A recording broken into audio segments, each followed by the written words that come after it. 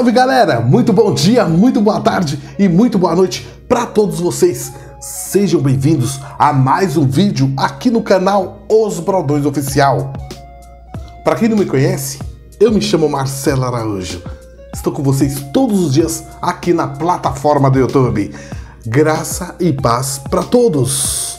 Muito prazer tê-los vocês aqui no canal Os Brodões Oficial, aqui na plataforma do YouTube. E aí, vocês estão bem? Estão bem mesmo?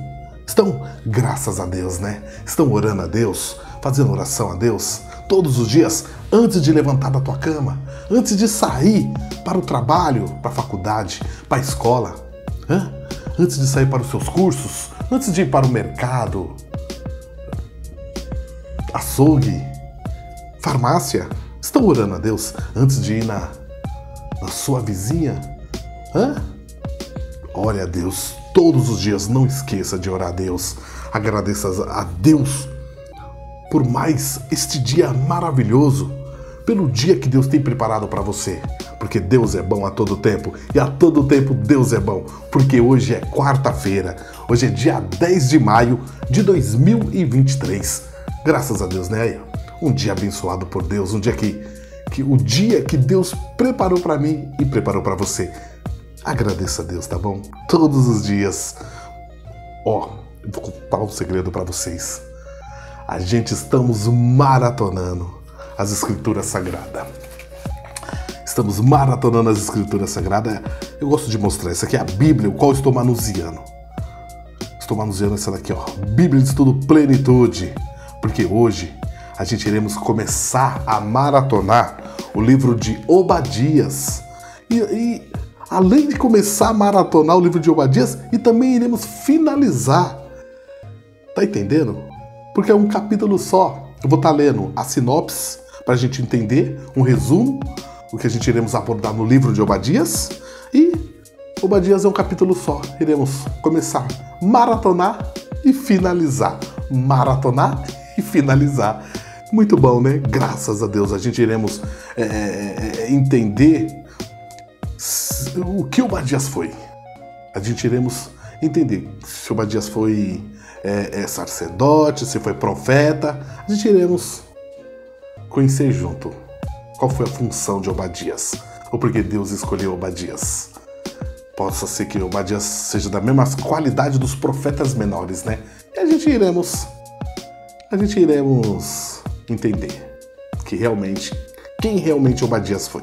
Tá certo? Ó, antes da gente começar a maratonar, eu já faço um convite para vocês, não perca tempo. Inscreva-se aqui no canal, tá bom? Já deixe seu like. Aproveite para ativar o sininho das notificações para receber vídeos novos inéditos como esse. Tá bom? Ó, não esqueça, hein? Deixe nos comentários, tá bom? Tá gostando? Deixe nos comentários e compartilhe os vídeos para ajudar a dar essa força moral para nós. Me siga no Instagram. Se você me seguir, vou seguir você de volta. Tá bom? Curte minha página no Facebook, tá ok? Estamos no Twitter, arroba 23 no Twitter, arroba 23 no Twitter. Não esqueçam, ó, a campanha, a hashtag YouTube monetiza o nosso canal, monetizando, essa força moral pra gente melhorar a qualidade de som, de imagem, entregar o melhor para meus inscritos. Poxa, equipe do YouTube, hashtag YouTube monetiza o nosso canal, tá certo? Tá aí, vamos maratonar? Vamos começar a maratonar? Graças a Deus, né? Um dia abençoado por Deus. Eu desejo que Deus abençoe os 26 estados do Brasil, tá bom? Você mora um desses 26 estados do Brasil? Que Deus abençoe a tua vida, que Deus multiplique o alimento, não deixe faltar nada, que Deus multiplique o salário de você que está trabalhando e você que não está trabalhando, que Deus abra uma porta de emprego para você que você seja abençoado e sustente a tua família toda, graças a Deus. Tá bom? Desejo do coração que Deus abençoe todos vocês, os inscritos aqui do canal, os Brodões Oficial. Bora então? Vamos começar a maratonar então? Então vamos. Produção, tá no pente? Então aperte o play, queremos maratonar o livro de Obadias. Bora conhecer a história de Obadias. Quem foi Obadias? Vamos entender. A sinopse, graças a Deus, Vamos lá. Sinopse. A história do livro de Obadias. Vamos aqui o resumo do livro de Obadias. Autor Obadias. Data logo após 586 anos antes de Cristo. O tema queremos abordar será o julgamento de Deus sobre Edom. Palavras-chave: dia e dia do Senhor. Vamos lá. Contexto histórico. As relações entre Israel e Edom foram marcadas pela hostilidade através do período do Antigo Testamento. O rancor começou quando os dois irmãos gêmeos, Esaú e Jacó, se dividiram em disputa. Os descendentes de Esaú, consequentemente, se estabeleceram numa área chamada Edom, situada ao sul do mar, o Mar Morto, enquanto os descendentes de Jacó continuaram em direção à terra prometida. Habitaram em Canaã e se tornaram o povo de Israel. Com o passar dos anos, numerosos conflitos se desenvolveram entre os edomitas e os israelitas. Os acontecimentos registrados em Números capítulo 20, versículo 14 ao 21 são um exemplo dessa hostilidade. Essa amarga rivalidade forma o fundo histórico da profecia de Obadias. Ao longo de um período de cerca de 20 anos, 605 a 586 a.C., os babilônios invadiram a terra de Israel e fizeram repetidos ataques à cidade sagrada de Jerusalém, a qual foi finalmente devastada em 586 anos antes de Cristo. Os edomitas viram essas incursões como uma oportunidade para extinguir sua amarga eh, sede contra Israel. Então, os edomitas juntaram-se aos babilônios contra seus parentes distantes e ajudaram a profanar a terra de Israel. Se censura a participação dos edomitas na destruição de Jerusalém. A data. O fundo histórico da destruição de Jerusalém coloca a data da profecia de Obadias logo após 586 anos antes de Cristo, o ano no qual a cidade sagrada foi derrotada pelos babilônios. A mensagem foi provavelmente dada duramente o período do exílio de Judá, quando Obadias alerta Edom sobre a vingança de Deus, que estava se aproximando, e assegura a Judá quanto ao contínuo cuidado do Senhor. Autor. O profeta através do qual a censura vem é conhecido somente como Obadias, servo adorador de Jeová. Nenhuma outra informação está disponível a respeito dele. Mais de dez homens têm o nome de Obadias. Uma tradição liga o autor da profecia ao Obadias, identificado como o Modormo do rei Acabe. Mas Acabe reinou no Reino do Norte, de 874 a 853 a.C., um período que não coincide, provavelmente, com a data da profecia de Obadias. Propósito: a profecia de Obadias fala a um povo que lamenta a ruína da sua amada cidade de Jerusalém e as mortes de família, amigos e parentes, os habitantes de Judá, que não haviam sido levados para o cativeiro. Era um pequeno número e estavam confinados a um é, fragmento do território que eles dantes haviam reivindicado como seus pais. Eles subsistiram é, sobre uma potencial pilha de entulho que um dia havia sido sua cidade sagrada. O livro de Lamentações registra a amargura que o povo de Judá sentiu. Nesse contexto, Obadias leva sua mensagem de segurança de que Deus não se esqueceu do seu povo, nem se descuidou da perversidade dos edomitas. Ele irá intervir para reparar a situação, para punir Edom e restaurar seu povo. Sua mensagem confronta Edom na forma de uma palavra de condenação, mas conforta o povo de Judá com a promessa de cuidado contínuo de Deus, sua vitória e a consequência restauração do povo. Conteúdo: Obadias é o menor livro do Antigo Testamento. Ele começa com um título que identifica a profecia como visão de Obadias e que atribuiu o pronunciamento do Senhor Jeová. O livro é dividido em duas sessões.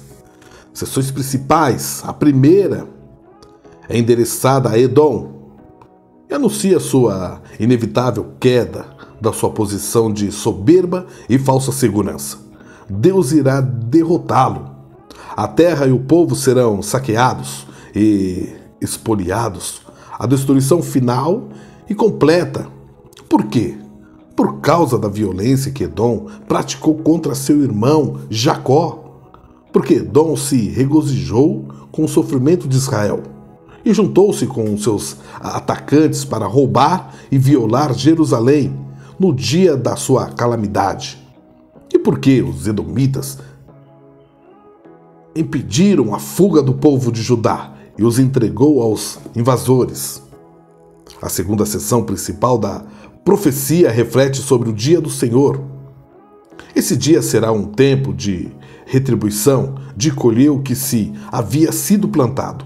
Para Edom, este é um pronunciamento de perdição mas para ajudar, de proclamação de liberdade, Edom será julgado severamente, mas o povo de Deus experimentará abençoada e gloriosa restauração de sua terra. O monte Sião governará as montanhas de Esaú, e o reino pertencerá ao Senhor. Aplicação pessoal. Aplicação pessoal. Obadias fala sobre a questão do relacionamento com bastante vigor. Quão fácil é para aqueles que conhecemos bem se tornarem alvos dos nossos é, ressentimentos mais amargos. Logicamente, Edom deveria ter ficado do lado de Judá contra a Babilônia, mas o, os anos de ódio fizeram com que as emoções anulassem o bom senso. Tais relacionamentos feridos quase é, inevitavelmente resulta uma arrogância pessoal. Arrogância que nos impede de ver o erro dos nossos próprios caminhos. Arrogância que constrói barreiras para bloquearem o caminho da reconciliação. O livro de Obadias nos chama para confrontar o incrível custo da arrogância e perceber que a importância de preservar o nosso orgulho cai no esquecimento quando temos de conf confrontar face a face com um Deus irado e tentar eh, justificar nossa arrogância. O livro nos chama para nos arrependermos de nosso orgulho, buscar reconciliação nos relacionamentos destruídos e modelar um estilo de vida de perdão e aceitação. O tema prevalecente de Obadias é bem afirmado por Paulo em Gálatas 6,7. Não erreis, Deus não se deixa escarnecer, porque tudo que o homem semear, isso também se fará. Ou, nas próprias palavras de Obadias, como tu fizeste assim, se fará contigo.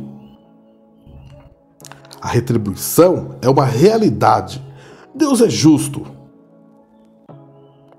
e ele irá punir as injustiças eh, perpetradas contra outros povos, sejam indivíduos ou nações. O Senhor leva muito a sério as promessas do conserto que ele faz. Em Gênesis 12, versículo 1 3, ele havia prometido abençoar aqueles que abençoaram ou abençoasse o seu povo e amaldiçoar aqueles que o amaldiçoaram e amaldiçoam o Senhor de um modo tão íntimo, identifica-se com o seu povo. Isso significa que se alguém amaldiçoar seu povo, estará amaldiçoando a Deus. se rejeitá-los, estará rejeitando a ele. O fim de Edom, então, prenuncia o destino de todos as, aqueles que, que defende e também ofende o povo de Deus. O Senhor está determinado a confiar no seu povo, até mesmo quando seu povo está sendo infiel e desobediente. E ele confiará, apesar das aparências, a profanação de Jerusalém e o povo de Judá mandaram uma mensagem para o mundo nos dias de Obadias. O Deus de Israel havia sido é, derrotado pelos deuses da Babilônia, de Edom e das outras nações opressoras. Mas isso era uma, uma falsa mensagem, porque as aparências podem ser enganadoras. Na sua soberania, Deus usa as circunstâncias para cumprir os seus propósitos, para purificar e proteger o seu povo como o Senhor de toda a terra. Ele já estava planejando a ruína de Edom, anunciando a vitória diante da derrota avassaladora e controlando o curso do futuro, a fim de cumprir seu plano. O Senhor que fez tudo aquilo por Israel é o Senhor que ainda trabalha para seu povo hoje. Glória a Deus. Cristo revelado. Cristo revelado. O versículo final de Obadias faz referências aos salvadores através dos quais Deus exerceria seu domínio sobre as montanhas de Esaú. Eles funcionariam como juízes ou libertadores, desde seu núcleo no, no Monte Sião ou Jerusalém. Os juízes hebreus eram salvadores para o povo. Eles os libertavam da opressão de estrangeiros, proviam ajuda para as viúvas e os órfãos, e executavam justiça nas disputas entre os homens. Esses salvadores prefiguram o libertador definitivo, o próprio Jesus Cristo. O Messias que vem como o juiz final, tanto para ser como como para trazer a mais gloriosa palavra de Deus acerca do, do, do reino, através de Jesus, Deus oferece seu senhorio e seu domínio para toda a humanidade, especialmente para os oprimidos e humilhados.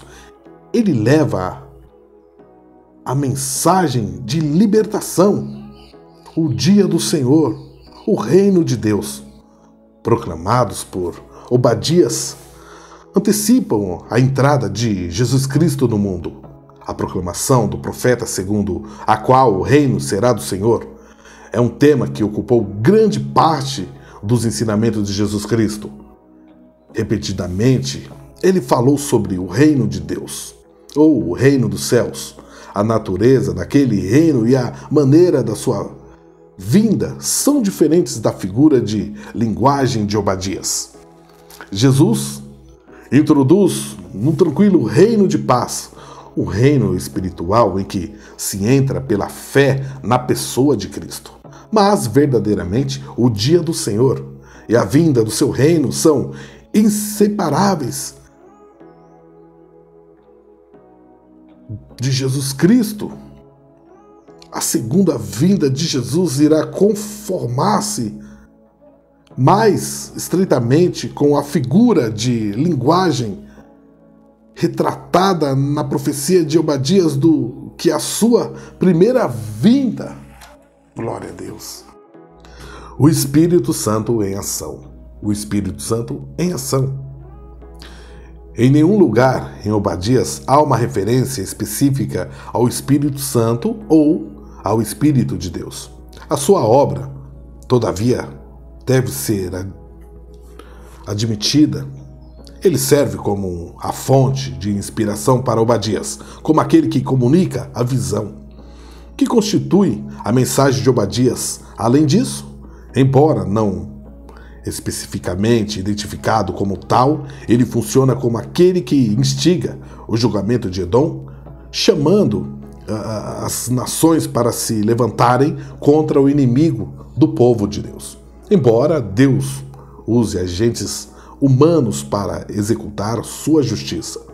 Atrás disso, tudo está a obra do seu espírito, empurrando, extingando e punindo de acordo com o plano de Deus. Graças a Deus tá aí. Finalizamos, né? Aqui o a sinopse. Agora iremos agora finalizar o capítulo 1 de Obadias. Bora! Obadias, capítulo 1, do versículo 1 ao versículo 21. O título diz assim: Os pecados e o castigo de Edom, a restauração e felicidade de Israel. Os pecados e o castigo de Edom, a restauração e felicidade de Israel. Visão de Obadias. Assim diz o Senhor Jeová a respeito de Edom. Temos ouvido a pregação do Senhor e foi enviado às nações um embaixador dizendo: Levantai-vos e levantemo-nos contra ela para a guerra. Eis que te fiz pequeno entre as nações, tu és muito desprezado.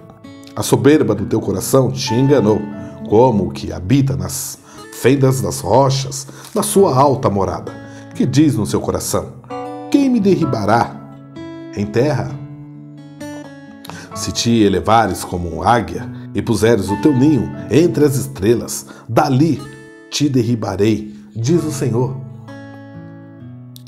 E se viesse a ti ladrões ou roubadores de noite, como estás destruído, não furtariam o que lhes bastasse?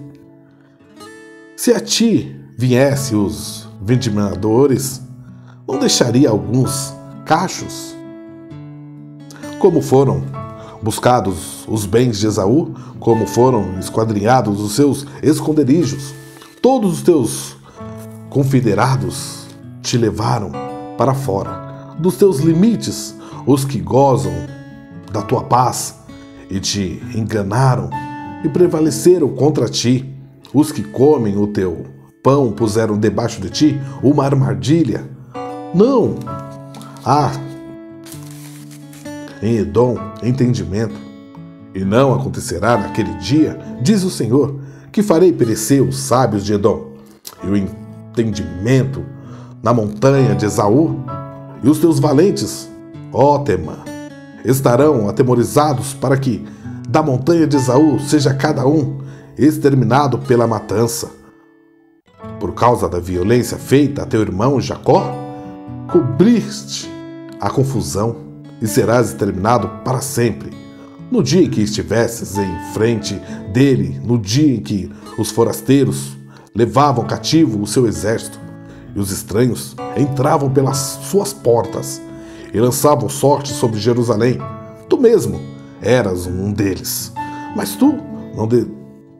não devias olhar para o dia de teu irmão, no dia do teu desterro, nem alegrar-te sobre os filhos de Judá, no dia da sua ruína, nem alargar a tua boca no dia da angústia,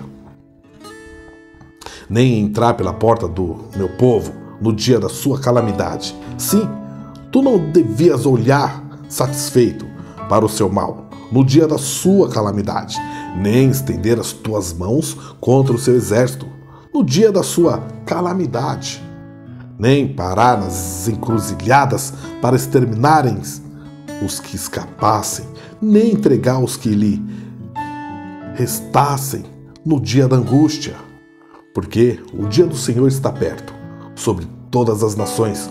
Como tu fizeste, assim se fará contigo, e a tua maldade cairá sobre a tua cabeça. Porque, como vós bebestes no monte da minha santidade, assim beberão de contínuo todas as nações. Beberão e engolirão e serão como se nunca tivessem sido mas no Monte Sião haverá livramento, e ele será santo, e os da casa de Jacó possuirão as suas herdades. E a casa de Jacó será fogo, e a casa de José chama, e a casa de Esaú palha, e se acenderão contra eles, e os consumirão, e ninguém mais restará da casa de Esaú, porque o Senhor o disse. E os do sul possuirão a montanha de Esaú, e os das planícies, os filisteus. Possuirão também os campos de Efraim, e os campos de Samaria, e Benjamim, Gileade, e os cativos desse exército dos filhos de Israel, que estão entre os cananeus, possuirão até Zarefate, e os cativos de Jerusalém, que estão em Serafade e Sefared, possuirão as cidades do sul, e levantar-se-ão salvadores no monte Sião, para julgarem a montanha de Esaú, e o reino será do Senhor. Glória a Deus. Glória a Deus, graças a Deus, está aí. Finalizamos o livro de Obadias. Então, o Obadias, o dom de Obadias era ter a visão que Deus dava para ele é, contra o povo rebelde de Israel. O povo rebelde de Jerusalém. E Deus deu o dom da visão para Obadias, o que iria acontecer. Se acaso aquele povo teimoso não voltasse para os caminhos do Senhor. Deus usava Obadias assim, na visão, mostrava tudo para Obadias. E Obadias iria lá no meio do povo e falava. Falava tudo aquilo que Deus mostrava para ele. É, seria um profeta com com visão, né? Profeta e as suas visões. Tá aí. Então, é um profeta também, né? Um profeta que tinha um dom de visão. Que Deus abria a mente dele, abria os olhos dele, né, espiritual, e mostrava o que iria acontecer se o povo não voltasse e retornasse para os caminhos do Senhor. Tá bom? Espero que vocês tenham gostado. Espero que a gente receba esse dom de visão de Deus para que nós possamos estar sempre no caminho do Senhor para quando a gente estiver fazendo algo errado, pecaminoso, que desagrada a Deus, que nós possa ter essa visão para a gente retornar para os caminhos do Senhor, tá bom? Para ser bem sucedido e abençoado por Deus, tá bom? Fica essa palavra em nome de Jesus. Vou dar a bênção apostólica, espero que vocês tenham gostado dessa, dessa leitura aqui no, no livro de Obadias. Deus abençoe a todos vocês, tá bom? Vamos lá? Que a graça do nosso Senhor Jesus Cristo, o amor de Deus e as doces consolação e comunhão do Espírito Santo esteja conosco todos os dias e que nós venhamos a selar com amém, amém, amém, olhar para o céu e dizer: Ora vem, Senhor Jesus. Continue conosco, Pai, no café da manhã, no almoço, no café da tarde, na janta, no chazinho da noite antes de dormir e quando a gente for dormir, deitar para dormir, que o Senhor zele por nós, que o Senhor guarde a nossa alma, o nosso espírito, o nosso corpo e dê uma noite abençoada de sono para todos nós. É que nós pedimos e agradecemos em nome de Jesus. Amém. Tá aí, galera? Graças a Deus. Espero vocês no próximo vídeo, tá bom? Que eu falo, esse canal aqui não é um canal religioso eu, graças a Deus, eu sou cristão, creio em Deus e em nosso Senhor Jesus Cristo. E a minha missão é essa: compartilhar com vocês a palavra de Deus. De graça eu recebi e de graça eu divido com vocês. Como diz lá em Mateus 10, versículo 8, né? Ali é do 5 ao 10, você lê lá. Do Mateus capítulo 10. De graça recebi, de graça. Estou compartilhando com vocês também. Essa é minha função, graças a Deus tá bom? É de coração, é de bom grado. E desejo que Deus abençoe a cada um de vocês. Tem vídeos aleatórios, né? Tem outros. Tem Reels, tem. Tem também os, os vídeos shorts, que é vídeos curto, pequeno, para todos vocês curtirem, tá bom? E desejo que Deus abençoe essa quarta-feira de cada um de vocês com muita graça, com muita paz, tá bom? Então, só me resta se despedir e dar tchau para vocês. Graça e paz. Tchau!